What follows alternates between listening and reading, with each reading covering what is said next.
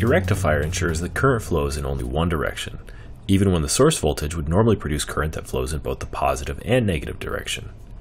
The most basic rectification circuit is simply a diode. Diodes are simple and effective rectifiers, and they are widely used for this purpose.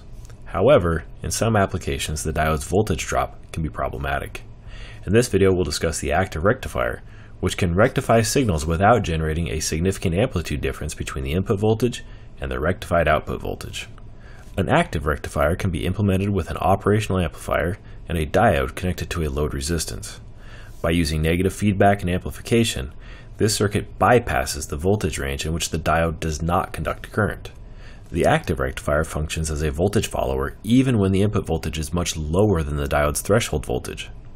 If the input voltage is below 0 volts, the diode is an open circuit and the inverting input terminal is connected to ground through the load resistor. As soon as the input voltage goes above ground, there is a positive differential voltage between the two input terminals, and the op-amp's high open loop gain results in a large output voltage.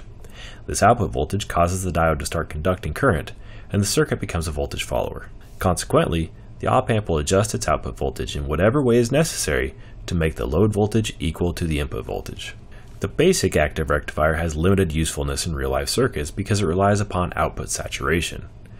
When the input voltage is below 0 volts, the diode is an open circuit and there is a negative differential between the op-amp's input terminals, which results in the output being driven to the negative supply rail. This is generally undesirable and will reduce the circuit's ability to rectify high frequency signals. Output saturation is prevented with a simple modification. Notice that we now connect the input signal to the op-amp's inverting input terminal. When the input signal is above 0 volts, D1 is an open circuit and D2 conducts. A negative feedback path is established preventing saturation and the virtual short is active, but the output node is disconnected from the op-amp's output terminal. Thus for positive input voltages, the output node is grounded through R2 and RL. For negative input voltages, D2 is an open circuit and D1 conducts.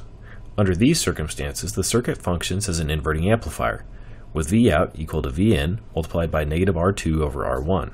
So this improved active rectifier is actually an inverting rectifier. For more details, check out the link in the description or visit allaboutcircuits.com.